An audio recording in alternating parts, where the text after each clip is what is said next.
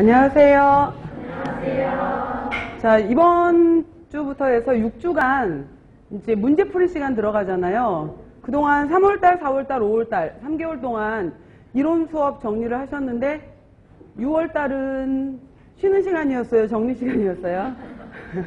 그건 알아서 이제 머릿속으로 생각하시고 자, 7월달, 8월달 오늘부터 해서 6주간 이제 문제풀이 시간이 들어갈 거고요.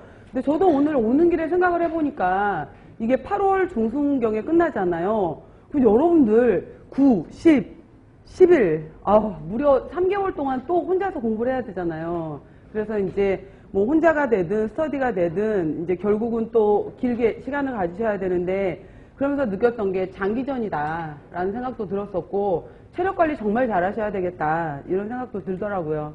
그래서 이제 끝까지 여러분들 건강 관리 잘 하시면서 잘 쫓아가시고 그 다음에 이 문제풀이 같은 경우에는 사실 이제 기출 문제가 들어오는 거 말고는 그냥 우리가 가지고 있는 것이 새로운 걸 배우는 게 아니잖아요. 그렇기 때문에 기본 이론에서 크게 벗어나질 않아요. 그리고 기존에 뭐 작년 거든 재작년 거든 이런 데서 아주 크게 뭐 법규라든지 이런 게 바뀌지 않는 이상은 큰 내용들이 없는 건데 그런 줄 알면서도 틀리잖아요. 그런 줄 알면서도 헷갈리고 그래서 그 시험이라는 게 순간이잖아요. 그날 그날 한 번 시험을 가지고서 결정이 되는 거기 때문에 그만큼 준비가 물론 운이라는 말도 있지만은 그만큼 준비가 되어 있어야 되는 것 같아요. 그래서 이제 뭐 저희 요즘에 지금 오늘이 이제 7월 5일이다 보니까 중고등학교도 지금 기말고사 시험 기간이거든요. 그래서 저희 애들 같은 경우에도 고쳤더니 다 틀렸더라.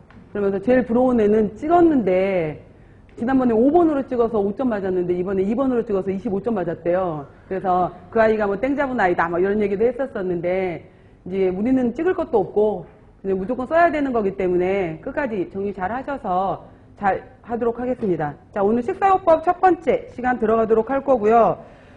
어, 문제 보시면은 맨 앞에 한번 봐보세요. 그래서 개관 나와 있는데 이제 앞에 맨 앞에 보시면은 이게 우리가 시험이 2007년도에 첫 시행이 되었어요. 그래서 영양교사 시험이 정말 딱 10년 됐더라고요. 올해로 보니까 그러니까 2007년에 처음 보면서 2008년 이제 임용고사를 본다. 이렇게 해서 2007년에 시작이 됐던 첫 번째 시험이었었는데 8년, 9년 같은 경우에가 오히려 지금처럼 가로넣기 그러니까 2점짜리, 4점짜리 그 다음에 서술형 이렇게 나왔었다가 2010년도 문제가 이제 1차, 2차로 바뀌겠다 이랬었거든요. 또 그렇게 가다가 다시 또 몇 년 전에 이렇게 바뀌었던 내용인데 그때 이제 영양사 시험을 이런 식으로 내겠다라고 했던 거였었어요. 그래, 아, 영양교사 시험이죠. 그래서 보시면은 우리 시험 같은 경우에가 1차에서 지금 이제 1, 2차. 그래서 현재는 이제 1교시, 2교시, 3교시 이렇게 들어가시잖아요. 여러분들 시험이. 그래서 1교시 같은 경우에는 교육학이 들어가는 걸로 알고 있고